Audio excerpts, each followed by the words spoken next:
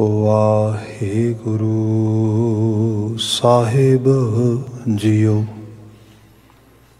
ਸ਼ਲੋਕ ਮਹਲਾ ਦੂਜਾ। ਕਿਸ ਹੀ ਕੋਈ ਕੋਏ ਮੰਜ ਨਿਮਾਣੀ ਇੱਕ ਤੂੰ।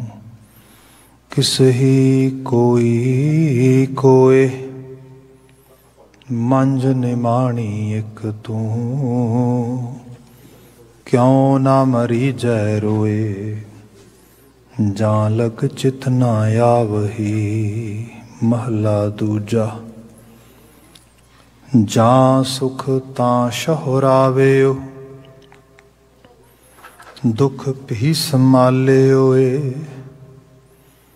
ਨਾਨਕ ਕਹੇ ਸਿਆਣੀਏ ਇਉ ਕੰਤ ਮਿਲਾਵਾ ਹੋਏ ਪੌੜੀ। ਹਉ ਕਿਆ ਸਾਲਾਹੀ ਕਿਰਮ ਜੰਤ, ਵੱਡੀ ਤੇਰੀ ਵਡਿਆਈ। ਤੂੰ ਅਗੰਮ ਦਇਆਲ ਅਗੰਮ ਹੈ, ਆਪ ਲਹਿ ਮਿਲਾਈ। ਮੈਂ ਤੁਝ ਬਿਨ ਬੇਲੀ ਕੋ ਨਹੀਂ, ਤੂੰ ਅੰਤ ਸਖਾਈ। ਜੋ ਤੇਰੀ ਸ਼ਰਨਾਗਤੀ, ਤਿਨ ਲਹਿ ਛਡਾਈ। ਨਾਨਕ, ਵੇ ਪਰਵਾਹ ਹੈ, ਤਿਸ ਤਿਲ ਨਾ ਤਮਾਈ। ਜੋ ਤੇਰੀ ਸ਼ਰਨਾਗਤੀ, ਤਿਨ ਲਹਿ ਛਡਾਈ। ਨਾਨਕ, ਵੇ ਪਰਵਾਹ ਹੈ। ਤਿਸ ਤਿਲ ਨਾ ਤਮਾਈ। ਵਾਹਿਗੁਰੂ ਜੀ ਕਾ ਖਾਲਸਾ, ਵਾਹਿਗੁਰੂ ਜੀ ਕੀ ਫਤਿਹ। ਜੁਗੋ ਜੁਗੋ ਟਲ ਤਨ ਤਨ ਗੁਰੂ ਗ੍ਰੰਥ ਸਾਹਿਬ ਜੀ। ਗੁਰੂ ਪਾਤਸ਼ਾਹ ਜੀ ਦੀ ਅਪਾਰ ਬਖਸ਼ਿਸ਼, ਸ਼ਾਮ ਸਮੇਂ ਸਤਸੰਗਤ ਦੀਆਂ ਕੜੀਆਂ ਅਸੀਂ ਮਾਣ ਰਹੇ ਹਾਂ। ਲੜੀਵਾਰ ਗੁਰਬਾਣੀ ਵਿਆਖਿਆ ਵਿੱਚ ਸੂਹੀ ਕੀ ਵਾਰ ਗੁਰੂ ਅਮਰਦਾਸ ਸਾਹਿਬ ਜੀ ਦਾ ਪਾਵਨ ਸੰਦੇਸ਼ ਅਸੀਂ ਵਿਚਾਰਦੇ ਹਾਂ। ਇਹ ਪਾਵਨ ਰਚਨਾ ਆਪਣੇ ਮੁਕਾਮ ਨੂੰ ਛੂ ਰਹੀ ਹੈ। ਸਮਾਪਨ ਹੋ ਰਿਹਾ ਹੈ ਦਾ ਇਸ ਪਾਵਨ ਰਚਨਾ ਦਾ, ਸੋਹੀ ਕੀ ਵਾਰ ਦਾ। 20 ਨੰਬਰ ਪੌੜੀ, ਜੋ ਕਿ ਲਾਸਟ ਪੌੜੀ ਹੈ ਤੁਧ ਨਾਲ ਲੱਗਦੇ ਸ਼ਲੋਕਾਂ ਦਾ ਪਾਠ ਆਪ ਸਰਵਨ ਕਰ ਰਹੇ ਸੀ। ਬੀਤੇ ਕੱਲ ਪਹਿਲਾ ਸ਼ਲੋਕ ਵਿਚਾਰਿਆ ਸੀਗਾ ਕਿ ਕਿਸੇ ਹੀ ਕੋਈ ਕੋਏ ਮੰਜ ਨ ਮਾਣੀ, ਇੱਕ ਤੂੰ ਕਿਉਂ ਨਾ ਮਰੀਜੈ? ਰੋਏ ਜਾਂ ਲਗ ਚਿਤ ਨਾ ਆਵਹੀ। ਅੱਜ ਜੋ ਸੈਕੰਡ ਨੰਬਰ ਸ਼ਲੋਕ ਹੈ ਉਤੋਂ ਵਿਚਾਰ ਅੱਗੇ ਤੋਰਾਂਗੇ। ਨਾਲ ਹੀ ਸਮਾਂ ਬਣਿਆ, ਪੌੜੀ ਦੀ ਵਿਆਖਿਆ ਹੋਏਗੀ। ਗੁਰੂ ਅੰਗਦ ਮਹਾਰਾਜ, ਦੂਸਰੇ ਨਾਨਕ ਜੋ ਬਚਨ ਕਹਿ ਰਹੇ ਨੇ ਮਹਲਾ ਦੂਜਾ, ਜਾਂ ਸੁਖ ਤਾਂ ਸ਼ਹੁਰਾਵੇਓ, ਦੁਖ ਪੀ ਸਮਾਲਿਓਏ ਜਾਂ ਸੁਖ ਤਾਂ ਸ਼ਹੁਰਾਵੇਓ। ਜੀਵਨ ਦੀਆਂ, ਵੈਸੇ ਤੇ ਆਪੋ ਆਪਣੇ ਤਰੀਕੇ ਦੇ ਨਾਲ ਐਕਸਪਲੇਨੇਸ਼ਨ ਹੋ ਸਕਦੀ ਹੈ but in a very universal manners we all face at least two type of conditions in our lives. One which provide us very comfort to us. Second, where we feel very uncomfortable. ਜਿਹੜਾ ਉਹ comfort ਤੇ ਅਨਕੰਫਰਟ ਆ ਉਸ ਦੀ ਵਿਆਖਿਆ ਸਾਡੀ ਦੁਨੀਆ 'ਚ ਸੁੱਖ ਤੇ ਦੁੱਖ ਹੈ ਜਦੋਂ ਬੰਦਾ ਸਿਚੁਏਸ਼ਨਸ ਉਹਦੇ ਅਕੋਰਡਿੰਗਲੀ ਚੱਲਦੀਆਂ ਨੇ ਉਹ ਕੰਫਰਟ ਫੀਲ ਕਰਦਾ ਹੈ ਕਿ ਹੁਣ ਠੀਕ ਹੈ as I have planned I has I have thought uh, things are going in same direction. I don't have much much resistance from anywhere. I don't have any hurdles. My wishes are fulfilling on my pace. Everything is according to my plans. So that means sukh. ਜਿੱਥੇ ਇਹ ਸਭ ਕੁਝ ਇਸ ਤਰ੍ਹਾਂ ਨਹੀਂ ਚੱਲਦਾ then I have very uncomfortable situation. ਉਹਦੇ 'ਚ ਫਿਰ ਬੰਦਾ ਦੁੱਖ ਮਹਿਸੂਸ ਕਰਦਾ ਹੈ ਇਹ ਜੀਵਨ ਦਾ ਪ੍ਰਸੰਗ ਹੈ ਮਤਲਬ this is the explanation of life. ਤੇ ਗੁਰੂ ਬਾਬਾ ਜੀ ਬਿਆਨ ਕਰਦੇ, ਇਹਦੇ ਅੰਦਰ ਹੁੰਦਾ ਕੀ ਹੈ ਕਿ ਜਦੋਂ ਕੰਫਰਟ ਫੀਲ ਕਰਦਾ ਜਾਂ ਅਨਕੰਫਰਟ ਫੀਲ ਕਰਦਾ, ਉਦੋਂ ਬੰਦਾ ਆਪਣੇ ਅੰਦਰ ਨੂੰ ਸੰਭਾਲਣ ਵਾਸਤੇ ਕੁਝ ਚੋਇਸਸ ਬਣਾਉਂਦਾ ਆ, ਕੁਝ ਖਾਸ ਕਿਸਮ ਦੇ ਕਰਮ ਉਹਨਾਂ ਨੂੰ ਤਰਜੀਹ ਦਿੰਦਾ ਹੈ ਜਿਵੇਂ ਬਹੁਤਾਇਤ ਸੁੱਖ ਦੀ ਅਵਸਥਾ ਦੇ ਵਿੱਚ ਜਦੋਂ ਬਹੁਤ ਬੰਦਾ ਕੰਫਰਟੇਬਲ ਹੋਏ, ਉਹਦੇ 'ਚ ਵੇਖਿਆ ਗਿਆ, ਉਹਦੇ 'ਚ ਹੰਕਾਰ ਵੱਧ ਜਾਂਦਾ ਹੈ। ਕਿਉਂਕਿ ਉਹਨੂੰ ਪਤਾ ਹੀ ਨਹੀਂ ਕਿ ਕੋਈ ਚੀਜ਼ ਅਨਕੰਫਰਟੇਬਲ ਵੀ ਹੋ ਸਕਦੀ ਏ ਫੇਲਿਅਰ ਵੀ ਹੋ ਸਕਦਾ ਆ, ਕਿਸੇ ਕਿਸਮ ਦੇ ਨਾਲ ਕੋਈ ਵਿਸ਼ੇਸ ਫੁੱਲਫਿਲ ਵੀ ਨਹੀਂ ਹੋਣਗੀਆਂ। ਸੋ ਉਹਨੂੰ ਲੱਗਦਾ ਸਭ ਕੁਝ ਹਰਾ ਹੀ ਹੈ। Everything is going according to actually my ਵਿਸ਼ੇਸ ਅਹੰਕਾਰ ਵਧਦਾ ਆ। ਕਿਹਾ ਗਿਆ ਕਿ ਜੇ ਲਿਟਰੇਚਰ ਦੇ ਵਰਡਸ ਵਿੱਚ ਮੈਂ ਕਹਾ ਤੇ ਉਹ ਕਹਿੰਦੇ ਨੇ ਕਿ ਹੰਕਾਰ ਵਰਸਸ ਨਿਰੰਕਾਰ। ਜਿੱਥੇ ਹੰਕਾਰ ਦੀ ਆਮਦ ਹੋਏਗੀ, ਉੱਥੇ ਨਿਰੰਕਾਰ ਦੀ ਹੋਂਦ ਘਟੇਗੀ। ਬੰਦੇ ਨੂੰ ਭੁੱਲ ਜਾਏਗਾ, ਸਿਰਜਣਹਾਰ ਸਤਨਾਮ ਸ਼੍ਰੀ ਵਾਹਿਗੁਰੂ। ਬੰਦਾ ਨਹੀਂ ਅਹਿਸਾਸ ਕਰੇਗਾ ਉਹਦਾ। ਸੋ ਸੁਖ ਦੀ ਅਵਸਥਾ ਦੇ ਵਿੱਚ ਬੰਦਾ ਇੱਕ ਤੇ ਕਰਤਾਰ ਵੱਲੋਂ ਇਸ ਰੂਪੇ ਟੁੱਟਦਾ ਆ।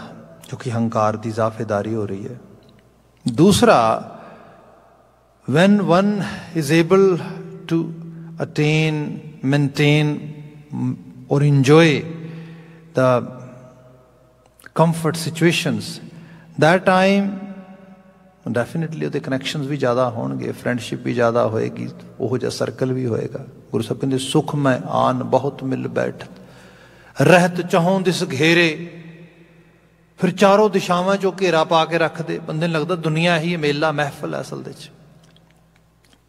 ਮਗਰ ਜਿਵੇਂ ਹੀ ਸਿਚੁਏਸ਼ਨ ਪਲਟਦੀ ਹੈ, ਫਿਰ ਪਤਾ ਲੱਗਦਾ, ਓਹੋ, ਇਹਨਾਂ ਚ ਤਾਂ ਕੋਈ ਸੰਗੀ ਨਹੀਂ, ਕੋਈ ਸਾਥੀ ਨਹੀਂਗਾ ਜਿਹਨੂੰ ਗੁਰੂ ਸਾਹਿਬ ਨੇ ਕਿਹਾ ਵਿਪਤ ਪਰੀ ਸਭ ਹੂੰ ਸੰਗ ਛਾੜਿਓ। ਜਿਵੇਂ ਥੋੜੀ ਜੀ ਵਿਪਤਾ ਬਣੀ, ਸਾਰੇ ਸੰਗੀ ਸਾਥੀ ਬਿਲਕੁਲ ਉਸੇ ਵਕਤ ਅੱਖਾਂ ਫੇਰ ਗਏ। ਲਗਾ ਉਹ ਮੈਂ ਤੇ ਇਕੱਲਾ ਆ। ਬਚਨ ਪਹਿਲਾਂ ਆਇਆ ਨਾ ਕਿਸ ਹੀ ਕੋਈ ਕੋਈ ਮੰਝ ਨ ਮਾਣੀ ਇੱਕ ਤੋਂ। ਤੇ ਗੁਰੂ ਸਾਹਿਬ ਵੀ ਬਿਆਨ ਕਰਦੇ ਕਿ ਭਲੇ ਬੰਦੇ ਜਦੋਂ ਸਾਥੀ, ਸੱਜਣ, ਮਿੱਤਰ, ਸੁਹਿਰਦ ਚੂਜ਼ ਕਰਨਾ, ਬੜੇ ਧਿਆਨ ਨਾਲ ਚੂਜ਼ ਕਰ। ਐਸਾ ਨਾ ਕਿਸੇ ਭਲੇਖੇ 'ਚ ਰਹਿ ਜਾਏ। ਜਿਵੇਂ ਹੋਰ ਬਚਨ ਅਸੀਂ ਲੈ ਲੈਣ ਨਾਲ ਗੁਰੂ ਗ੍ਰੰਥ ਸਾਹਿਬ ਮਹਾਰਾਜ ਜਾਂ ਦੀ ਵਿਆਖਿਆ 'ਚ ਅਸੀਂ ਕੁਝ ਹੋਰ ਚੀਜ਼ਾਂ ਦੇਖੀਏ।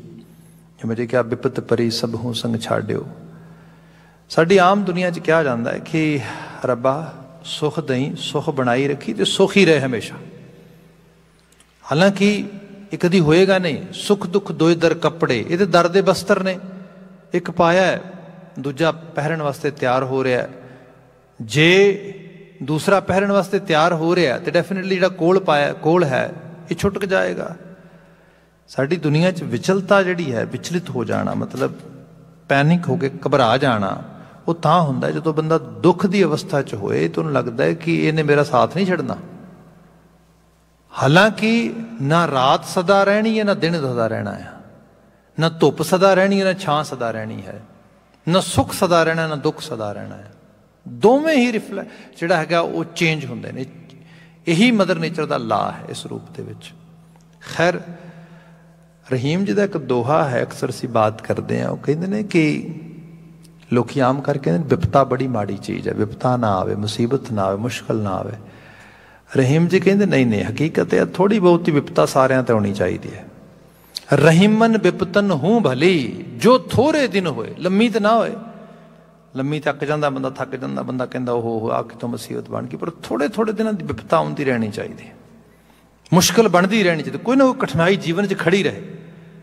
ਉਹ ਕਹਿੰਦਾ, ਰਹੀਮਨ ਵਿਪਤਨ ਹੂੰ ਭਲੀ, ਜੋ ਥੋੜੇ ਦਿਨ ਹੋਏ ਰਹੀਮ ਜੀ ਭਲੀ ਕਿਉਂ ਫਾਇਦਾ ਕੀ ਉਹਦਾ ਉਹ ਕਹਿੰਦੇ ਹਿਤ ਅਨਹਿਤ ਇਸ ਜਗਤ ਮੈਂ ਜਾਣ ਲੇਤ ਸਭ ਕੋਏ ਕੌਣ ਹਿਤੂ ਹੈ ਕੌਣ ਅਨਹਿਤੂ ਹੈ ਕੌਣ ਮੇਰਾ ਆਪਣਾ ਹੈ ਕੌਣ ਬਗਾਨਾ ਹੈ ਪਤਾ ਲੱਗ ਜਾਂਦਾ ਇੱਥੇ ਜਾ ਕੇ ਪਰਖ ਹੁੰਦੀ ਹੈ ਜਦੋਂ ਕੋਈ ਇਹੋ ਜਿਹੇ ਹਾਲਾਤ ਬਣਨ ਤੇ ਗੁਰੂ ਗ੍ਰੰਥ ਸਾਹਿਬ ਦੇ ਬਚਨ ਨੇ ਜਾਂ ਕੋ ਮੁਸ਼ਕਲ ਆਤ ਬਣੇ ਢੋਈ ਕੋਈ ਨਾ ਦੇ ਲਾਗੂ ਹੋਏ ਦੁਸ਼ਮਨਾ ਸਾਖ ਵੀ ਭਜ ਖਲੇ ਜਿਨ੍ਹਾਂ ਨੂੰ ਲੋਕੀ ਆਪਣੇ ਸਾਖ ਕਹਿੰਦੇ ਸਨ ਵੀ ਇਹ ਮੇਰੇ ਸੰਗੀ ਨੇ, ਸਾਥੀ ਨੇ, ਮੇਰੀਆਂ ਸ਼ਾਖਾਵਾਂ ਨੇ।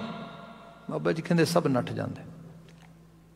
ਸੋ ਇਹ ਹੈ ਅਨਕੰਫਰਟੇਬਲ ਸਿਚੁਏਸ਼ਨਸ ਦੇ ਵਿੱਚ ਕੋਈ ਹੋਰ ਕੰਫਰਟ ਬਾਹਰੋਂ ਪ੍ਰੋਵਾਈਡ ਕਰਨ ਵਾਸਤੇ ਆਏਗਾ ਪੋਸੀਬਲ ਨਹੀਂ ਹੁੰਦਾ ਕਈ ਵਾਰ। ਫਿਰ ਇਹਦੇ 'ਚ ਇਹ ਹੈ ਕਿ ਬੰਦਾ ਫਿਰ ਕੰਫਰਟ ਕਿੱਥੋਂ ਲੱਭੇ? ਉਹਦੇ ਲਈ ਕਿਹਾ ਗਿਆ ਕਿ ਰੱਬ ਦਾ ਨਾਮ ਲਏ, ਕਰਤਾਰ ਤੇ ਭਰੋਸਾ ਰੱਖੇ। ਅੱਜ ਦੀ ਦੁਨੀਆ 'ਚ ਕਿਹਾ ਜਾਂਦਾ ਹੈ some sort of mindfulness exercises we should actually start doing meditation we should start doing we should have some sort of um, um, uh, scripture recitation reciting these activities can help us so ਦੁੱਖ ਦੀ ਅਵਸਥਾ 'ਚ ਬੰਦਾ ਕਹਿੰਦਾ ਵੀ ਇੱਥੇ ਇੱਥੇ ਇਸ ਰੂਪ ਵਿੱਚ ਆ ਜਾਇਆ ਜਾਏ ਗੁਰੂ ਬਾਬਾ ਜੀ ਨੇ ਕਿਹਾ ਇੱਕ ਜੀਵਨ ਹੀ ਕਿਉਂ ਨਹੀਂ ਐਸਾ ਅਪਣਾ ਲੈਂਦੇ ਜਿਹਦੇ ਵਿੱਚ ਜੋ ਸੁਖ ਦੇ ਤਾਂ ਤੁਝੇ ਆਰਾਧੀ ਦੁੱਖ ਵੀ ਤੁਝੇ ਤੇ ਆਈ ਜੇ ਸੁਖ ਆਵੇ ਤੇ ਤੇਰੀ ਆਰਾਧਨਾ ਹੋਏ, ਜੇ ਦੁੱਖ ਆਵੇ ਤੇ ਧਿਆਨ ਤੇਰੇ ਵਿੱਚ ਹੋਏ। ਇਹ ਦੋ ਚੀਜ਼ਾਂ ਜਿਹੜੀ ਆ ਕੰਫਰਟ ਜਾਂ ਅਨਕੰਫਰਟ ਜਿਹੜੀ ਅਵਸਥਾ ਆ, ਇਹ ਬਾਹਰ ਬਦਲੇ, ਅਦਲੇ, ਜੋ ਮਰਜ਼ੀ ਹੋਏ, ਪਰ ਅੰਦਰ ਦੀ ਦੁਨੀਆ ਦਾ ਕਨੈਕਸ਼ਨ ਇੱਕ ਹਾਇਰ ਲੈਵਲ ਤੇ ਰਹੇ। ਇਹ ਜਿਹੜੀ ਬਾਤ ਗੁਰੂ ਮਹਾਰਾਜ ਇੱਥੇ ਬਿਆਨ ਕਰਦੇ ਨੇ, ਜਾਂ ਸੁਖ ਤਾਂ ਸ਼ਹਰਾਵਿਓ, ਸੁਖ ਵੀ ਸੰਭਾਲਿਓਏ। ਜੇ ਸੁਖ ਆ, ਜੇ ਦੁਖ ਆ ਉਹਦੀ ਹੀ ਸੰਭਾਲ ਕਰਨੀ ਹੈ, ਉਹਦੇ ਨਾਲ ਹੀ ਆਪਣੇ ਆਪ ਨੂੰ ਜੋੜਨਾ ਹੈ। ਹੁਣ ਇਸ ਲੈਵਲ ਦੇ ਵਿੱਚ ਅੱਜ ਦੀ ਦੁਨੀਆ ਦੇਖਦੇ ਆ ਤੇ ਇਹਦੇ 'ਚ ਹੈ ਕਿ ਜਿੰਨਾ ਜ਼ਿਆਦਾ ਸੁੱਖਾਂ ਦੇ ਸਾਧਨ ਵਧੇ ਨੇ, ਬੰਦੇ ਦੀ ਫਰਸਟ੍ਰੇਸ਼ਨ ਦਾ ਲੈਵਲ ਬੰਦੇ ਦਾ ਅਨਕੰਫਰਟੇਬਲ ਫੀਲ ਕਰਨਾ ਉਹ ਜ਼ਿਆਦਾ ਵੱਧ ਗਿਆ ਆਪ ਸਪੋਜ਼ ਸਿੰਪਲੀ ਕਰਦੀ ਹੈ ਬਾਤ। ਕੈਨੇਡਾ ਦੇ ਵਿੱਚ ਅਸੀਂ ਮੋਸਟਲੀ ਸਮਰ ਦੀ ਵੇਟ ਕਰਦੇ ਹਾਂ।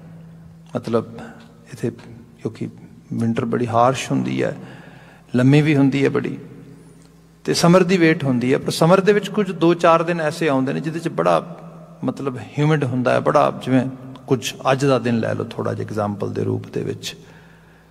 ਇੰਨੇ ਦੇ ਵਿੱਚ ਹੀ ਬੰਦਾ ਬੜਾ ਮੁਰਝਾਇਆ ਹੋਇਆ ਤੇ ਬੜਾ ਡਾਊਨ ਫੀਲ ਕਰਨਾ ਸ਼ੁਰੂ ਕਰ ਦਿੰਦਾ ਹੈ। ਉਹਦਾ ਕਾਰਨ ਇਹ ਹੈ ਕਿ ਅਸੀਂ ਇੱਕ ਉਸ ਕੰਫਰਟ ਮਾਹੌਲ ਦੇ ਇਤਨੇ ਜ਼ਿਆਦਾ ਆਦੀ ਹੋ ਚੁੱਕੇ ਹਾਂ। ਥੋੜਾ ਜਿਹਾ ਸੱਜੇ ਖੱਬੇ ਹੁੰਦਾ ਆ, ਸਾਨੂੰ ਲੱਗਦਾ that's not good I can not accept it it should not be like that ਆ ਰੂਪ ਆਉਣਾ ਸ਼ੁਰੂ ਹੋ ਜਾਂਦਾ ਹੈ। ਗੁਰਮਤਿ ਸਿਖਾਉਂਦੀ ਹੈ, ਤਤੀਆਂ ਲੋਹਾਂ ਚੱਲਣ ਤੇ ਭਾਵੇਂ ਠੰਡੀਆਂ ਹਵਾਵਾਂ ਚੱਲਣ। ਇਹਦੇ ਵਿੱਚ ਸਰੀਰ ਜ਼ਰੂਰ ਉਹਦੀ ਸ਼ਿਵਰਿੰਗ ਹੋਏਗੀ, ਉਹ ਕਾਂਪ ਖਾਏਗਾ, ਸਭ ਚੀਜ਼ਾਂ ਹੋਣਗੀਆਂ। ਪਰ ਮਨੁੱਖੀ ਮਨ ਜਿਹੜਾ ਆ, ਜਿਹਨੂੰ ਬਾਬਾ ਕਬੀਰ ਜੀ ਨੇ ਕਿਹਾ ਸੀਗਾ, ਮਨ ਨਾ ਡਿਗੈ ਤਨ ਕਾਹੇ ਕੋ ਡਰਾਈ। ਜਦੋਂ ਮਨ ਨਹੀਂ ਡਿੱਗਦਾ, ਫਿਰ ਤਨ ਦਾ ਡਰਨਾ ਵੀ ਘਟ ਜਾਂਦਾ ਫਿਰ ਬਾਹਰ ਦੀ ਹਾਲ ਹਾਲਾਤ ਜਿਹੜੇ ਨੇ, ਉਹਨਾਂ ਦੇ ਵਿੱਚ ਵੀ ਬੰਦਾ ਅਨਕੰਫਰਟ ਵਿੱਚ ਵੀ ਵਿੱਚ ਵੀ ਕੰਫਰਟ ਲੱਭ ਲੈਂਦਾ ਹੈ। ਇਥੋਂ ਫਿਰ ਸਾਡੇ ਲਈ ਤੇ ਬਹੁਤ ਆਈਡੀਅਲ ਪਿਕਚਰ ਆ। ਸਾਡੇ ਬਜ਼ੁਰਗਾਂ ਨੇ, ਮਤਲਬ ਜਾਮ ਤੁਸੀਂ ਚੀਜ਼ ਦੇਖੋ ਵਾਟਸ ਦ ਡਿਫਰੈਂਸ ਬਿਟਵੀਨ ਜਿਹੜੇ ਖਾਸ ਕਰਕੇ ਕੋਈ ਜਿਵੇਂ ਛੋਲੇ ਨੇ ਤੇ ਬਦਾਮ ਨੇ, ਇਹਨਾਂ ਦੋਹਾਂ ਦੇ ਵਿੱਚ ਜਿਹੜਾ ਹੈਗਾ ਲੈਂਟਨ ਸੀਡਸ ਜਿਹੜੇ ਨੇ ਜਾਂ ਐਲੀਮੈਂਟਸ ਜਿਹੜੇ ਨੇ, ਇਹਨਾਂ ਦੋਨਾਂ 'ਚ ਫ਼ਰਕ ਕਰਕੇ ਦੇਖ ਲਓ। ਕਿੰਨਾ ਫ਼ਰਕ ਹੈ? ਬੜਾ ਫ਼ਰਕ ਹੈ ਭਾਈ।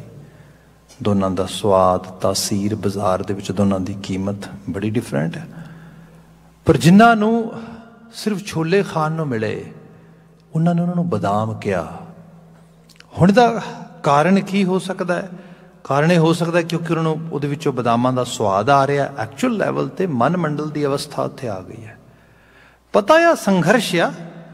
ਇਸ ਸੰਘਰਸ਼ ਵਿੱਚੋਂ ਜਿਹੜਾ ਆਊਟਕਮ ਹੈ ਉਹ ਬੜਾ ਵਧੀਆ ਨਿਕਲੇਗਾ। ਕਿਉਂਕਿ ਇਸ ਖਿੱਤੇ ਦੇ ਵਿੱਚ ਰਹਿੰਦੇ ਹੋਏ ਲੋਕਾਂ ਦੀ ਹਾਲਤ ਇਹ ਹੈ ਕਿ ਜੇ ਜੀਵੈ ਪਤ ਲੱਥੀ ਜਾਏ। ਮਤਲਬ ਬੇਪਤੀ ਹੋ ਕੇ ਜਿਉਣਾ ਮਿਲ ਰਿਹਾ ਸੀਗਾ। ਹੁਣ ਐਟਲੀਸਟ ਪਤ ਵਾਪਸ ਆ ਰਹੀ ਹੈ, ਇੱਜ਼ਤ ਆ ਰਹੀ ਹੈ। ਇਹ ਇੱਜ਼ਤ ਹੀ ਹੈ ਲਾਹੌਰ ਦਾ ਸੂਬੇਦਾਰ। ਪੂਰਾ ਪੰਜਾਬ ਸੂਬਾ, ਇੱਕ ਪੂਰੀ ਦੀ ਪੂਰੀ ਕਹਿ ਲਓ, ਇੱਕ ਪੂਰੀ ਸਟੇਟ ਹੈ, ਪੂਰਾ ਦਾ ਪੂਰਾ ਇੱਕ ਵੱਡਾ ਮੁਲਕ ਖਿੱਤਾ ਆ। ਉਸ ਦਾ ਗਵਰਨਰ ਉਸ ਸਿੱਖ ਰਜ਼ੀਮ ਨੂੰ ਜਿਸ ਦੇ ਵਾਸਤੇ ਆਰਡੀਨੈਂਸ ਜਾਰੀ ਕੀਤੇ ਗਏ, ਇਹ ਬਾਗੀ ਨੇ ਇਹਨਾਂ ਤੋਂ ਕੱਟ ਦਿਓ ਮੱਡ ਵੱਢ ਦਿਓ ਮਾਰ ਦਿਓ ਇਹਨਾਂ ਵਾਸਤੇ 80 80 ਰੁਪਏ ਉਹਨਾਂ ਦੇ ਸਿਰਾਂ ਦੇ ਮੁੱਲ ਦਿੱਤੇ ਜਾਣ। ਤੇ ਇੱਕ ਦਿਨ ਕੀ ਆਵੇ? ਇੱਕ ਦਿਨ ਆਵੇ ਕਿ ਇੱਕ ਕੰਮ ਕਰਦੇ ਆ, ਇਵੇਂ ਤੇ ਨਹੀਂ ਕੰਮ ਮੁੱਕਣਾ। ਆਪਾਂ ਇਹਨਾਂ ਨੂੰ ਨਵਾਬੀ ਦੀ ਖਿੱਲਤ ਭੇਜਦੇ ਹਾਂ।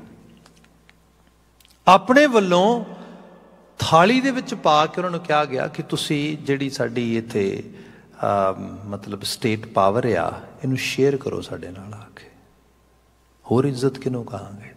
ਲੋਕੀ ਕੁਰਸੀਆਂ ਮੰਗਦੇ ਨੇ, ਲੋਕੀ ਅਹੁਦੇ ਮੰਗਦੇ ਨੇ, ਲੋਕੀ ਅਹੁਦਿਆਂ ਲਈ ਰੋਂਦੇ ਨੇ, ਕਲਪਦੇ ਨੇ।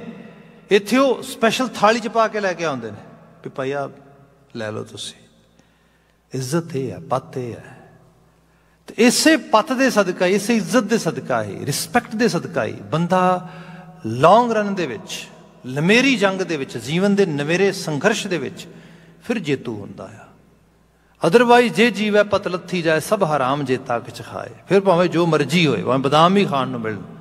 ਪਰ ਜੇ ਬੰਦੇ ਨੂੰ ਆਪਣੇ ਮਾਣ ਸਨਮਾਨ ਦਾ ਉਹ ਖਿਆਲ ਨਹੀਂ ਰਹਿ ਗਿਆ, ਤਾਂ ਬਹੁਤ ਲੋਅਰ ਲੈਵਲ ਤੇ ਆ ਜਾਏਗਾ। ਫਿਰ ਇਹ ਵੀ ਹੈ ਇਹ ਕਿਹਾ ਗਿਆ, ਇਹਨਾਂ ਲੋਕਾਂ ਦੀ ਹੋਂਦ ਖਤਮ ਹੋ ਜਾਏਗੀ। ਇਹ ਲੋਕ ਮਤਲਬ ਜਿਸ ਤਰੀਕੇ ਨਾਲ ਲਗਾਤਾਰ ਦਹਾਕਾ ਬਾਅਦ ਦਹਾਕਾ ਜੈਨੋਸਾਈਡ ਚੱਲਿਆ, ਤੇ ਮੁੱਕ ਜਾਏਗਾ ਸਾਰਾ ਕੁਝ ਅਸੀਂ ਦੇਖਿਆ ਮੁੱਕਿਆ ਤੇ ਕੁਝ ਨਹੀਂ। ਪਹਿਲਾਂ ਜੋ ਹੈ, ਸਿੱਖਾਂ ਦੇ 65 ਜਥੇ ਇੱਕ ਰਜ਼ਾਇ ਇੱਕ ਰਜ਼ੀਮ ਦੇ ਤੌਰ ਤੇ ਉੱਭਰੇ। ਫਿਰ ਉਹਨਾਂ ਦੇ ਵਿੱਚੋਂ 12 ਮਿਸਲਾਂ ਉੱਭਰੀਆਂ। ਫਿਰ ਮਹਾਰਾਜਾ ਰਣਜੀਤ ਸਿੰਘ ਦੀ ਆਮਦ ਹੋ ਗਈ। ਫਿਰ ਇਹੋ ਜਿਹਾ ਸਮਾਂ ਵੀ ਆਇਆ ਜਿਹਨੂੰ ਵਾਕਿਆ 'ਚ ਹੀ ਲੋਕੀ ਕਹਿੰਦੇ ਨੇ ਵੀ ਸੋਨੇ ਦੀ ਝਾਲ ਚੜ ਜਾਣੀ। ਇਹੋ ਸਮਾਂ ਆ ਜਦੋਂ ਦਰਬਾਰ ਸਾਹਿਬ ਦੀ ਇਮਾਰਤ ਸੰਗੇ ਮਰਮਰ ਤੋਂ ਸੋਨੇ 'ਚ ਬਣਦੀ ਹੈ। ਮਤਲਬ ਇਸ ਤਰੀਕੇ ਨਾਲ ਦੇਖੋ ਤੁਸੀਂ ਕਦੇ।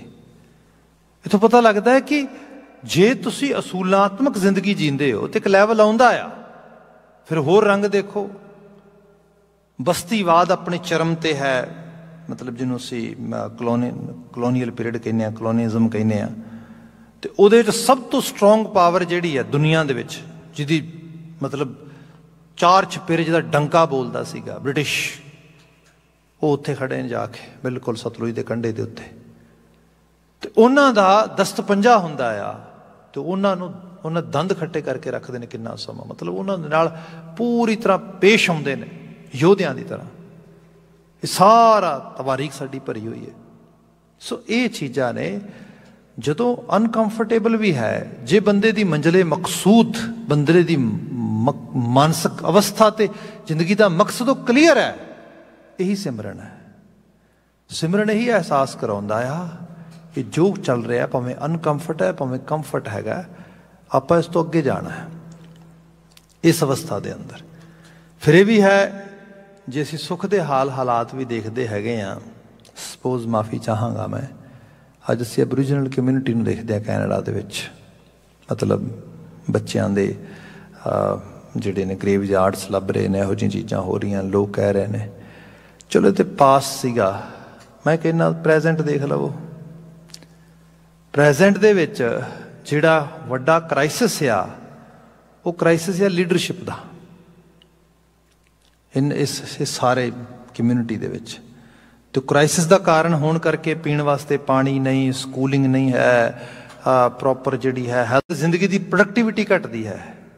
ਗੁਰੂ ਬਾਬਾ ਜੀ ਨੇ ਇਸ ਕਰਕੇ ਕਿਹਾ ਸੀਗਾ, ਜੇ ਸੁਖਿਆ ਤਾਂ ਵੀ ਆਪਣੇ ਪੈਰ ਨਾ ਛੱਡੀ, ਤਾਂ ਵੀ ਜ਼ਮੀਨ ਤੇ ਰਹੀ, ਕਰਤਾਰ ਨੂੰ ਚੇਤੇ ਰੱਖੀ। ਇਹਦੇ ਬਾਬਤ ਉਲਾਮਾ ਲਿਖਦਾ ਹੈ, ਉਹ ਕਹਿੰਦਾ ਕਿ ਜੇ ਐਸ਼ ਮੇ ਯਾਦੇ ਖੁਦਾ ਔਰ ਤੈਸ਼ ਮੇ ਖੌਫੇ ਖੁਦਾ ਜੇ ਐਸ਼ੋ ਪ੍ਰਸਤਗੀ ਹੈ, ਫਿਰ ਫਿਰ ਖੁਦਾ ਦੀ ਯਾਦ ਰਹੇ। ਜੇ ਚਾਰ ਚਪੇਰੇ ਸਭ ਕੰਫਰਟੇਬਲ ਚੱਲ ਰਿਹਾ ਤੇ। ਜੇ ਤੈਸ਼ ਵਿੱਚ ਆ ਜਾਏ ਕਿਤੇ, ਮਤਲਬ ਉਹੋ ਜੀ ਅਵਸਥਾ ਚ ਆ ਜਾਏ, ਉਦੋਂ ਉਦੋਂ ਖੁਦਾ ਦਾ ਖੌਫ ਰੱਖੀ ਮਨ ਦੇ ਵਿੱਚ ਵੀ ਭਾਈ, ਖੁਦਾ ਵੇਖ ਰਿਹਾ ਸਭ ਉਸ ਰੂਪ ਦੇ ਵਿੱਚ, ਕਿਸੇ ਤਰੀਕੇ ਦੇ ਨਾਲ ਮੈਨੂੰ ਉਸ ਰਾਹ ਤੋਂ ਪਟਕਣਾ ਨਹੀਂ ਚਾਹੀਦਾ। ਗੁਰਮਤ ਨੇ ਸਮਝਾਇਆ, ਜਾਂ ਸੁਖ ਤਾਂ ਸ਼ਹਰਾਵਿਓ ਜੇ ਸੁਖ ਹੈ ਸ਼ਹੋ ਦਾ ਰਵਨ ਹੋਏ ਦੁੱਖ ਪੀ ਹੋਏ। ਜੇ ਦੁੱਖ ਦੀ ਅਵਸਥਾ ਤਾਂ ਵੀ ਸੰਭਾਲ ਹੋਏ ਉਹਦੀ। ਨਾਨਕ ਕਹੇ ਸਿਆਣੀ ਐ ਇਉਂ ਕੰਤ ਮਿਲਾਵਾ ਹੋਏ। ਨਾਨਕ, ਗੁਰੂ ਅੰਗਦ ਸਾਹਿਬ, ਨਾਨਕ ਜੋਤ ਦੇ ਉਸ ਰਿਪਰੈਜ਼ੈਂਟੇਟਿਵ ਦੇ ਰੂਪ ਵਿੱਚ ਬਾਤ ਕਰਦੇ ਤੇ ਕਹਿੰਦੇ, ਇਹ ਬਾਤ ਕਹਿ ਸਿਆਣੀ ਐ हे ਸਿਆਣੀ ਜੀਵਾਤਮਾ, ਇਹ ਕੌਨਸ਼ੀਅਸ ਜੋ ਬੜੀ ਕਲੇਵਰ ਮਾਈਂਡਡ ਹੋ ਚੁੱਕੀ ਹੈ, ਜੋ ਕਲੇਵਰਨੈਸ ਦੇ ਅੰਦਰ ਗ੍ਰਿਫਤ ਹੈ। ਇਉਂ ਕੰਤ ਮਿਲਾਵਾ ਹੋਏ। ਤੇਰੀ ਸਿਆਣਪ ਨਾਲ ਮਲਾਪ ਨਹੀਂ ਹੋਣਾ। ਜੇ ਤੂੰ ਦੁੱਖ ਸੁੱਖ ਦੋਨਾਂ ਅਵਸਥਾ ਦੇ ਵਿੱਚ ਉਸ ਉਸੇ ਅਕਾਲ ਪੁਰਖ ਵਾਹਿਗੁਰੂ ਦੇ ਨਾਲ ਆਪਣੀ ਸਾਂਝ ਬਣਾ ਕੇ ਰੱਖੇਂਗੀ, ਤਾਂ ਤੇਰੇ ਮੁਕਤੀ ਹੈ, ਤਾਂ ਤੇਰਾ ਅਸਲ ਵਿੱਚ ਮਲਾਪ ਹੋਏਗਾ। ਇਹ ਹੈਗਾ ਸ਼ਲੋਕ ਅੱਗੇ ਪੌੜੀ ਹੈ, ਹਉ ਕਿਆ ਸਾ ਲਾਹੀ ਕਿਰਮ ਜੰਤ ਵੱਡੀ ਤੇਰੀ ਵਡਿਆਈ। ਅਬ ਦੇਖੋਗੇ ਪੂਰੀ ਵਡਿਆਈ ਕੀਤੀ ਅਕਾਲ ਪੁਰਖ ਵਾਹਿਗੁਰੂ ਤੇ ਉਹਦੇ ਗੁਣਗਾਨ ਕੀਤੇ, ਪੌੜੀਆਂ ਸ਼ਲੋਕਾਂ ਚ, ਪੂਰੀ ਦੀ ਪੂਰੀ ਰਚਨਾ। ਹੁਣ ਪੂਰੀ ਹੋਣ ਵਾਲੀ ਗੁਰੂ ਅੰਗਦ ਸਾਹਿਬ ਗੁਰੂ ਅਮਰਦਾਸ ਸਾਹਿਬ ਨੂੰ ਪੂਰੀ ਕਰ ਰਹੇ ਨੇ।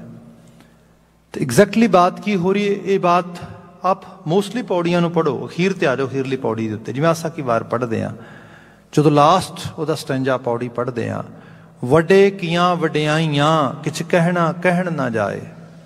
ਇੱਥੇ ਬਚਨ ਆ ਰਿਹਾ ਵੱਡ ਹਉ ਕਿਆ ਕਿਰਮ ਜੰਤ, ਵੱਡੀ ਤੇਰੀ ਵਡਿਆਈ।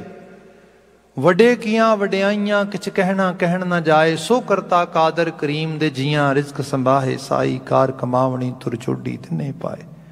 ਭਾਈ, ਉਹਦੀਆਂ ਵਡਿਆਈਆਂ ਕੀ ਕੀਤੀਆਂ ਜਾਣਗੀਆਂ? ਸਾਡੇ ਕੋਲ ਤੇ ਉਨੀ ਜ਼ਬਾਨ ਨਹੀਂ ਕਿ ਸਾਡੇ ਕੋਲ ਤੇ ਉਨੀ ਤਾਬ ਨਹੀਂ, ਸਾਡੇ ਕੋਲ ਸਮਰੱਥਾ ਨਹੀਂ। ਹੁਣ ਇਹਦੇ ਚ ਗੁਰਮਤ ਸਾਨੂੰ ਇਹ ਸਮਝਾ ਰਹੀ ਹੈ, ਸਾਡਾ ਅਲਟੀਮੇਟ ਗੋਲ ਰੱਬ ਦੀਆਂ ਵਡਿਆਈਆਂ ਕੱਲੀਆਂ ਕਰਨਾ ਨਹੀਂ ਹੈਗਾ ਉਹਦੇ ਕੱਲੇ ਗੁਣਗਾਨ ਕਰਨਾ ਨਹੀਂ ਹੈਗਾ।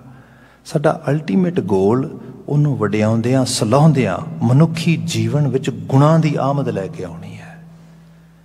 ਜੇ ਸਿਫਤ ਸਲਾਹ ਕਰਤਾਰ ਦੀ ਕਰਦਾ ਆ ਕਰਤਾਰੀ ਰਚਨਾ ਦੀ ਕਰਦਾ ਉਹਦੇ ਗੁਣ ਮੇਰੇ ਜੀਵਨ ਵਿੱਚੋਂ ਰਿਫਲੈਕਟ ਨਹੀਂ ਹੋ ਰਹੇ ਥੋੜੇ ਬਹੁਤੇ। ਫਿਰ ਮਹਾਰਾਜ ਨੇ ਬਿਆਨ ਵੀ ਕਰ ਦਿੱਤਾ, ਕਿਆ ਪੜੀ ਹੈ ਕਿਆ ਗੁਨੀ ਹੈ ਕਿਆ ਵੇਦ ਪੁਰਾਣਾ ਸੁਣੀ ਹੈ ਪੜੇ ਸੁਨੇ ਕਿਆ ਹੋਈ, ਜੋ ਸਹਿਜ ਨਾ ਮਿਲੇ ਉਸ ਸੋਈ। ਹਰ ਕਾ ਨਾਮ ਨਾ ਜਪਸ ਗਵਾਰਾ, ਕਿਆ ਸੋਚੈ ਬਾਰੰਗਵਾਰਾ ਭਾਈ ਅੰਧਿਆਰੇ ਦੀਪਕ ਚਾਹੀਏ, ਇੱਕ ਵਸਤ ਅਗੋਚਰ ਲਹੀਏ ਵਸਤ ਅਗੋਚਰ ਪਾਈ ਕਟ ਦੀਪਕ ਰਹਾ ਸਮਾਈ। ਤੇਰੇ ਜੀਵਨ ਦਾ ਅਮਲ ਇਹ ਹੈ, ਅੰਧਿਆਰੇ ਜੀਵਨ ਅਗਿਆਨਤਾ ਹੈ। ਅਗਿਆਨਤਾ ਦੇ ਵਿੱਚ ਫੈਸਲੇ ਹੁੰਦੇ ਨੇ, ਅਗਿਆਨਤਾ ਦੇ ਵਿੱਚ ਬੰਦਾ ਤੁਰਦਾ, ਠੋਕਰਾਂ ਲੱਗਦੀਆਂ ਨੇ। ਜਿਹੜੀ ਦੁੱਖ ਸੁੱਖ ਦੀ ਅਵਸਥਾ ਆ ਕੰਫਰਟ ਅਨਕੰਫਰਟੇਬਲ ਹੋਣਾ, ਇਹ ਮਦਰ ਨੇਚਰ ਦੇ ਲਾ ਦੇ ਅੰਦਰ ਮੈਂ ਜਿਵੇਂ ਬੇਨਤੀ ਕੀਤੀ, ਮੌਸਮ ਹੈ ਕਦੀ ਹਾਰਸ਼ ਗਰਮੀ ਹੈ ਕਦੀ ਹਾਰਸ਼ ਠੰਡ ਆ, ਇਹ ਰਹੇਗਾ। ਆਹ ਕਿਸਾਨੀ ਜੀਵਨ ਨਾਲ ਅਸੀਂ ਲੋਕ ਜੁੜੇ ਹੋਏ ਆਏ ਆ ਪੰਜਾਬ ਦੀ ਫਿਜ਼ਾ ਦੇ ਵਿੱਚੋਂ। ਇੱਥੇ ਵੀ ਥੋੜਾ ਬਹੁਤਾ ਦੇਖਦੇ ਆਲੇ ਦੁਆਲੇ ਕਿਸਾਨੀ ਹੁੰਦੀ ਹੈ ਨਾ ਮੁਲਕਾਂ ਦੇ ਵਿੱਚ ਵੀ ਲੋਕਾਂ, ਭਾਵੇਂ ਮੇਨ ਸਟ੍ਰੀਮ ਵਿੱਚ ਲੋਕ ਕਰਦੇ। ਪਰ ਦੇਖੋਗੇ ਜਦੋਂ ਜਿਵੇਂ ਹੁਣ ਝੋਨਾ ਲੱਗ ਰਿਹਾ ਉੱਥੇ, ਜਾਂ ਪਹਿਲਾਂ ਪਿੱਛੇ ਕਣਕ ਪੱਕ ਰਹੀ ਸੀ, ਲੋਕੀ ਕਣਕਾਂ ਗਾ ਰਹੇ ਸੀਗੇ। ਉਸ ਹਾਰਵੈਸਟਿੰਗ ਦੇ ਸੀਜ਼ਨ ਦੇ ਵਿੱਚ ਆਪ ਦੇਖੋਗੇ, ਕਿੰਨੀ ਗਰਮੀ ਹੁੰਦੀ ਹੈ। ਹੁਣ ਉਸ ਗਰਮੀ ਦੇ ਵਿੱਚ ਕਿਸਾਨ ਵਿਸਾਖੀ ਕਦੋਂ ਮਨਾਈ ਜਾਂਦੀ ਹੈ? ਜਦੋਂ ਉਹ ਬਿਲਕੁਲ ਐਨ ਗਰਮੀ ਜੋਬਨ ਵਾਲੇ ਪਾਸੇ ਵੱਧ ਰਹੀ ਹੁੰਦੀ ਹੈ, ਉਹਨੂੰ ਚਾਹ ਹੁੰਦਾ ਆ। ਪੰਜਾਬੀ ਫਿਜ਼ਾਂ ਦੇ ਵਿੱਚ ਉਹ ਚ ਕਹਿੰਦੇ ਨੇ ਭੰਗੜੇ ਪਾਏ ਜਾਂਦੇ ਨੇ। ਇਹਦਾ ਮਾਇਨਾ ਕੀ ਹੈ? ਕਿਉਂਕਿ ਗਰਮੀ ਜਿਹੜੀ ਹੈ, ਗਰਮ ਰੁੱਤ ਜਿਹੜੀ ਹੈ, ਮੌਸਮ ਦੀ ਗਰਮਾਇਸ਼ ਉਹ ਦੁੱਖ ਦੇਣ ਦੀ ਬਜਾਏ ਸੁਖ ਦੇ ਰਹੀ ਹੈ, ਕਿਉਂਕਿ ਉਹਦੇ ਦਾ ਫਾਇਦਾ ਆ ਰਿਹਾ ਮੈਨੂੰ ਕੁਝ ਫਸਲ ਪੱਕ ਰਹੀ ਹੈ ਮੇਰੀ। ਜੇ ਗਰਮੀ ਦੀ ਰੁੱਤ ਮੇਰੇ ਵਾਸਤੇ ਫਾਇਦੇਮੰਦ ਆ, ਸਭ ਨੇ ਕਿਹਾ ਆਸਾੜ ਕੱਲਾ ਤਪੰਦਾ ਇਸ ਕਰਕੇ ਨਹੀਂ, ਕਿਉਂਕਿ ਆਸਾੜ ਆ। ਨਹੀਂ ਨਹੀਂ, ਆਸਾੜ ਤਪੰਦਾ ਤਿਸ ਲੱਗਾ, ਹਰ ਨਾਹ ਨਾ ਜਿੰਨਾ ਪਾਸ। ਆਸਾੜ ਤਾਂ ਤਪਦਾ ਆ ਕਿ ਉਦੋਂ ਨਾਹ ਤੋਂ ਟੁੱਟ ਗਿਆ ਬੰਦਾ। ਜਦੋਂ ਅਕਾਲ ਪੁਰਖ ਵਾਹਿਗੁਰੂ ਦੇ ਪੈਪਾਵ ਤੋਂ ਟੁੱਟ ਗਿਆ ਬੰਦਾ।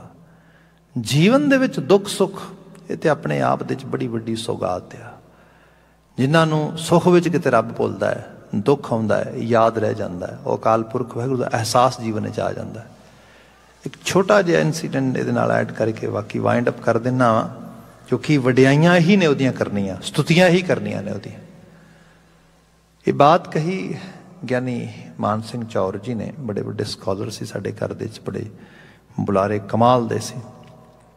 ਇੱਕ ਜਗ੍ਹਾ ਬਿਆਨ ਕਰਦੇ, ਉਹ ਕਹਿੰਦੇ ਕਿ ਜਦੋਂ ਮੈਂ ਕਿਤੇ ਦਿੱਲੀ ਤੋਂ ਲੰਘਣਾ, ਤੇ ਅਕਸਰ ਇਹ ਹੋਣਾ ਕਿ ਇੱਕ ਵਾਰੀ ਜੇ ਮੈਂ ਬੰਗਲਾ ਸਾਹਿਬ ਹਾਜ਼ਰੀ ਭਰ ਕੇ ਗਿਆ ਕਿਤੇ ਪੰਜਾਬ ਤੋਂ ਬਾਹਰ ਜਾ ਰਿਹਾ ਸੀਗਾ, ਦਿੱਲੀੋਂ ਲੰਘਿਆ।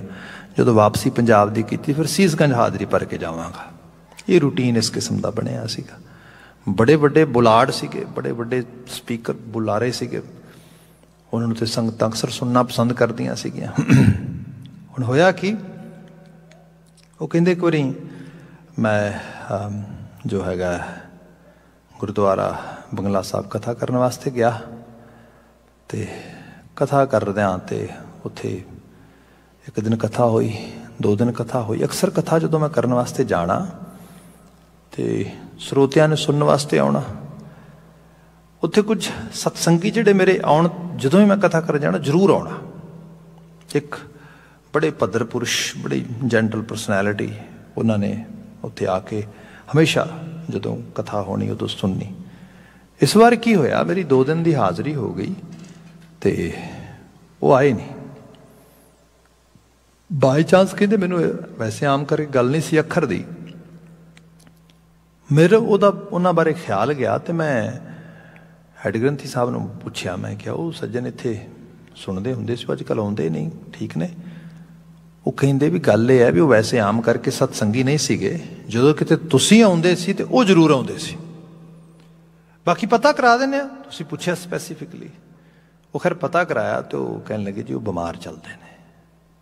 ਗਿਆਨੀ ਮਾਨ ਸਿੰਘ ਚੌਰ ਕਹਿੰਦੇ, ਖਿਆਲ ਆਇਆ। ਜਾਂ ਤੇ ਪੁੱਛਦੇ ਨਾ ਜੇ ਹੁਣ ਪੁੱਛ ਲਿਆ ਤੇ ਪਤਾ ਲੱਗਾ, ਕੋਈ ਤਬੀਅਤ ਠੀਕ ਨਹੀਂ, ਇਨਸਾਨੀ ਫਰਜ਼ ਹੈ ਮਿਲ ਕੇ ਆਉਣਾ ਚਾਹੀਦਾ? ਕਹਿੰਦੇ ਫਿਰ ਸਪੈਸ਼ਲ ਮਿਲਣ ਵਾਸਤੇ ਗਏ। ਮਿਲਣ ਵਾਸਤੇ ਗਏ, ਵਾਕਿਆ 'ਚ ਤਬੀਅਤ ਖਰਾਬ ਸੀ। ਥੋੜੀ ਬਹੁਤੀ ਗੱਲ ਹੋ ਰਹੀ ਹੈ। ਪਤਾ ਲੱਗਾ ਇੱਥੇ ਯੂਨੀਵਰਸਿਟੀ 'ਚ ਪ੍ਰੋਫੈਸਰ ਨੇ। ਬੜੇ ਪੜ੍ਹੇ ਲਿਖੇ ਨੇ। ਦੋ ਚਾਰ ਗੱਲਾਂ ਹੋਰ ਹੋਈਆਂ ਤੇ ਕਹਿਣ ਲੱਗੇ ਉਹਨਾਂ ਨੇ, ਦੱਸਿਆ ਕਿ ਮੈਂ ਕੋਈ ਸਿੱਖ ਬਲੀਵਰ ਨਹੀਂ ਹੈਗਾ। ਮੈਂ ਤੇ ਅਧਰਮੀ ਬੰਦਾ ਹਾਂ। ਮਤਲਬ ਜਿਹਨੂੰ ਕਹਿ ਲੋ ਕਿ ਮੈਂ ਧਰਮ ਦੀ ਪ੍ਰੈਕਟਿਸ ਨਹੀਂ ਕਰਦਾ, ਸਿੱਖੀ ਦੀ ਬਿਲਕੁਲ ਪ੍ਰੈਕਟਿਸ ਨਹੀਂ ਕਰਦਾ। ਐਥੀਸਟ ਹੈਗਾ। ਤੁਹਾਡਾ ਬੋਲਣਾ ਬੜਾ ਚੰਗਾ ਲੱਗਦਾ ਹੈ। ਤੁਹਾਡੇ ਬੋਲਣ ਦੀ ਸ਼ੈਲੀ ਤੋਂ ਬੜਾ ਪ੍ਰਭਾਵਿਤ ਸੀ। ਇਸ ਕਰਕੇ ਤੁਹਾਨੂੰ ਸੁਣਨ ਲਈ ਜਾਂਦਾ ਸੀ। ਇਹ ਮੇਨ ਮੇਨ ਕਾਰਨ ਸੀ। ਇਸੇ ਕਰਕੇ ਤੁਹਾਨੂੰ ਕਦੀ ਮਿਸ ਨਹੀਂ ਕੀਤਾ ਜਦੋਂ ਤੁਸੀਂ ਆਏ ਇੱਥੇ। ਅੱਛਾ। ਖੈਰ ਦੋ ਚਾਰ ਗੱਲਾਂ ਹੋਈਆਂ, ਪਿਆਲਾ ਚਾਹ ਲਿਆਂਦੀ, ਚਾਹ ਪੀਤੀ। ਉਥੋਂ ਵਿਦਾਇਗੀ ਲੈਣ ਲੱਗੇ? ਮੈਂ ਕਿਹਾ ਵੀ ਗੱਲ ਇਹ ਹੈ, ਗੁਰੂ ਹਰਕ੍ਰਿਸ਼ਨ ਸਾਹਿਬ ਦੇ ਸਥਾਨ ਤੇ ਮੱਥਾ ਟੇਕਿਓ, ਪਰਿਵਾਰ ਸਮੇਤ ਜਾ ਕੇ ਮਹਾਰਾਜ ਦੇ ਚਰਨਾਂ 'ਚ ਅਰਦਾਸ ਕਰਿਓ। ਦੁੱਖ ਸੁੱਖ ਜੀਵਨ ਦਾ ਸਫ਼ਰ ਦੇ ਵਿੱਚ ਸੰਗੀ ਹੁੰਦੇ ਨੇ, ਪਰ ਫਿਰ ਵੀ ਕਸ਼ਟ ਆਏ, ਕਟਿਆ ਜਾਏ, ਚੰਗਾ ਲੱਗਦਾ ਆ। ਉਹ ਕਹਿੰਦੇ ਜਦੋਂ ਇਹ ਗੱਲ ਹੋਈ, ਉਹ ਮੈਨੂੰ ਜਵਾਬ ਦੇ ਕੇ ਕਹਿਣ ਲੱਗਾ, ਉਹ ਸ਼ਖਸ ਕਹਿਣ ਲੱਗਾ ਵੀ ਐਵੇਂ ਝੂਠੀ ਤਸੱਲੀ ਨਹੀਂ ਦਿੰਦਾ ਤੁਹਾਨੂੰ, ਮੈਂ ਇਹ ਕੰਮ ਨਹੀਂ ਕਰਨਾ। ਨਾ, ਮੈਂ ਮੈਂ ਮੇਰਾ ਤਾਂ ਵਿਸ਼ਵਾਸ ਹੀ ਕੋਈ ਨਹੀਂ ਹੈਗਾ। ਮੈਂ ਨਹੀਂ, ਨਾ ਪਾਠ ਵੀ ਨਹੀਂ ਕਰਨਾ, ਨਾ ਅਰਦਾਸ ਕਰਨੀ ਖੈਰ, ਕਹਿੰਦੇ ਮੈਂ ਗੁਰਮਤ ਦਾ ਉਸ ਰੂਪ ਦੇ ਵਿੱਚ ਕੂਕਰਾਂ ਗੁਰੂ ਕੇ ਕਰਦਾ ਮੈਂ ਬੋਲਿਆ ਤੇ ਮੈਂ ਆ ਗਿਆ। ਸਮਾਂ ਆਪਣੀ ਜਾਚੇ ਲੰਘ ਗਿਆ। ਮੈਨੂੰ ਵੀ ਭੁੱਲ ਭੁਲਾ ਗਈ ਚੀਜ਼, ਗੱਲ ਕੱਟਣਾ ਕਾਫੀ ਸਮਾਂ ਹੋ ਗਿਆ। ਮੈਂ ਲੰਘ ਰਿਹਾ ਇੱਕ ਵਾਰੀ ਫਿਰ ਦਿੱਲੀ ਤੋਂ ਤੇ ਸੀਸਗੰਜ ਗੁਰਦੁਆਰਾ ਸਾਹਿਬ ਮੇਰੀ ਕਥਾ ਆ। ਮੈਂ ਉੱਥੇ ਕਥਾ ਕਰ ਰਿਹਾ। ਅਜੇ ਕੋਈ 10 ਮਿੰਟ ਕਥਾ ਕਰਦਿਆਂ ਹੋਏ ਉਹ ਕਈ ਘੰਟੇ ਲਗਾਤਾਰ ਬੋਲਦੇ ਬੋਲਦੇ ਸੀਗੇ ਤੇ ਕਿਸੇ ਨੇ ਜਕਾਰਾ ਛੱਡਤਾ। ਠੀਕ ਹੈ ਜੀ, ਜਕਾਰਾ ਹੋ ਗਿਆ। ਫਿਰ ਕੋਈ 2-4 ਮਿੰਟ ਬੋਲਿਆ, ਫਿਰ ਜਕਾਰਾ ਛੱਡਤਾ। ਮਤਲਬ ਉਸ ਦਿਨ ਕਹਿੰਦੇ ਕਥਾ ਘਟ ਤੇ ਜਕਾਰੇ ਜ਼ਿਆਦਾ ਹੋਏ ਤੇ ਜਕਾਰਿਆਂ 'ਚ ਆਵਾਜ਼ ਵੀ ਇੱਕ ਹੀ ਵਾਰ-ਵਾਰ ਆਵੇ। ਖੈਰ, ਕਥਾ ਸਮਾਪਤ ਹੋਈ। ਮੈਂ ਉਤਰਿਆ ਤੇ ਸੇਵਾਦਾਰ ਨੂੰ ਪੁੱਛਿਆ, ਮੈਂ ਕਿਹਾ ਜਿਹੜਾ ਇਤਨਾ ਤੀਬਰ ਬਿਰਾਗੀ ਹੋਇਆ ਸੀ ਅੱਜ ਸੰਗਤ ਦੇ ਚ ਸਰੋਤਾ, ਉਹ ਸਤਸੰਗੀ ਜਨ, ਉਹਨੂੰ ਮਿਲਾਓ ਤੇ ਸਹੀ ਇੰਨੇ ਜਕਾਰੇ ਹੱਦ ਹੋ ਗਈ। ਦੱਸੋ ਮੈਂ ਤੇ ਅਨਾਉਂਸਮੈਂਟ ਵੀ ਕੀਤੀ, ਬਸ ਹੋ ਗਿਆ, ਜਕਾਰੇ ਬਹੁਤ ਹੋ ਗਏ, ਹੁਣ ਗੱਲ ਵੀ ਸੁਣੋ। ਉਹ ਕਹਿੰਦੇ ਜੀ, ਤੁਹਾਸਾ, ਤੁਸੀਂ ਉਹਨੂੰ ਕੀ ਮਿਲਣਾ? ਤੁਹਾਡੀ ਉਡੀਕ ਕਰ ਰਿਹਾ, ਬਾਹਰ ਖੜਾ। ਉਹ ਕਹਿੰਦੇ, ਅੱਛਾ, ਉਹ ਮਿਲਣ ਵਾਸਤੇ ਗਏ, ਜਦੋਂ ਅੱਖਾਂ ਮਿਲੀਆਂ ਤੇ ਪਤਾ ਲੱਗਾ ਤੇ ਉਹੀ ਪ੍ਰੋਫੈਸਰ ਹੈ, ਜਿਹਨੂੰ ਕਦੇ ਘਰੇ ਮਿਲਣ ਵਾਸਤੇ ਗਏ ਸੀ ਕੁੱਟ ਕੇ ਗਲਵਕੜੀ ਪਾ ਲਈ।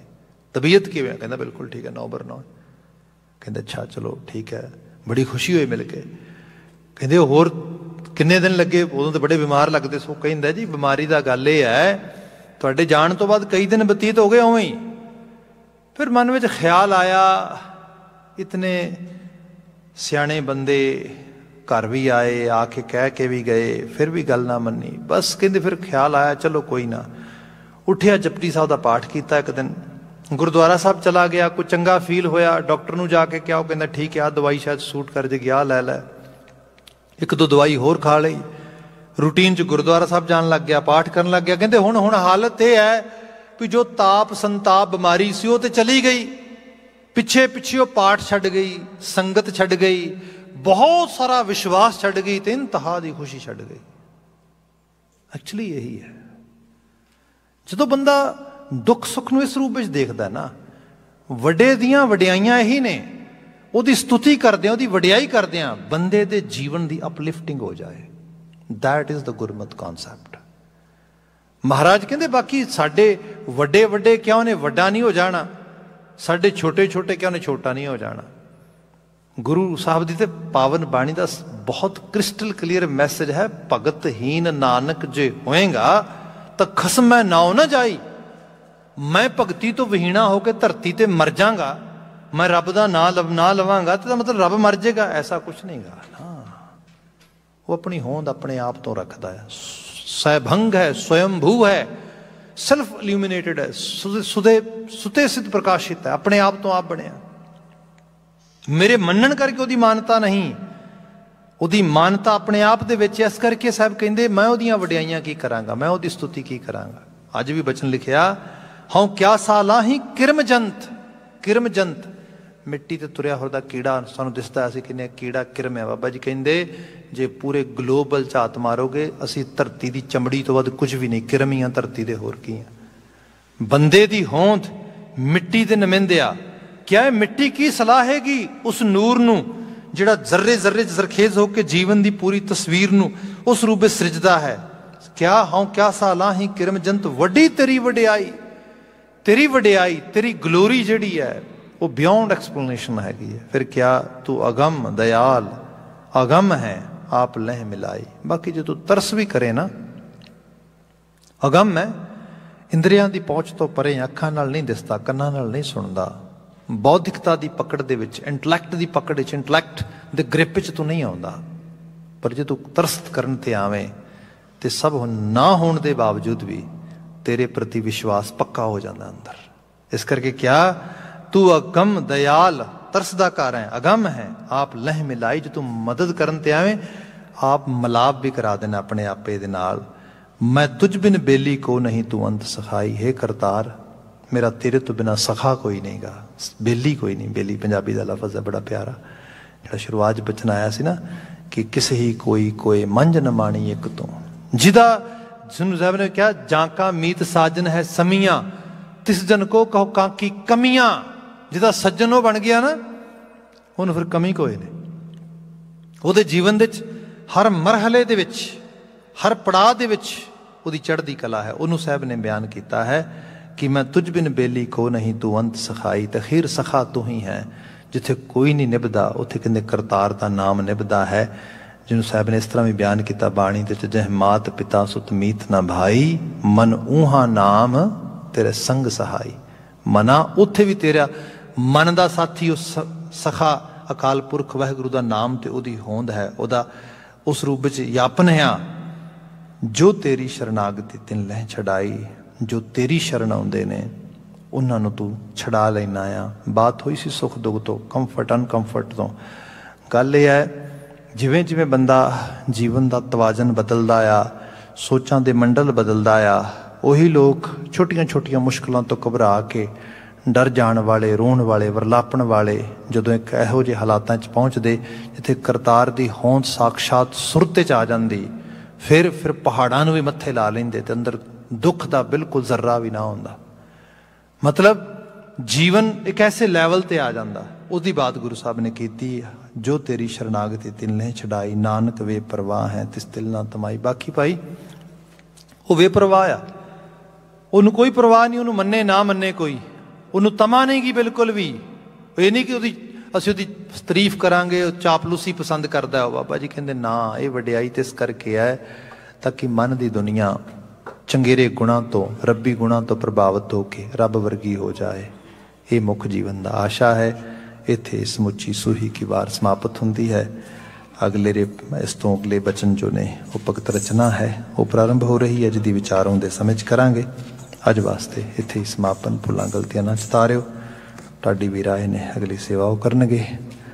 ਆ, ਕਿਰਸਾਨੀ ਸੰਘਰਸ਼ ਨਾਲ ਜੂਝ ਰਹੇ ਮਾਈ ਪਾਈ ਦੀ ਸਫਲਤਾ ਦੀ ਅਰਦਾਸ ਦੇ ਨਾਲ ਸਮਾਪਤੀ ਹੈ। ਵਾਹਿਗੁਰੂ ਜੀ ਕਾ ਖਾਲਸਾ, ਵਾਹਿਗੁਰੂ ਜੀ ਕੀ ਫਤਿਹ।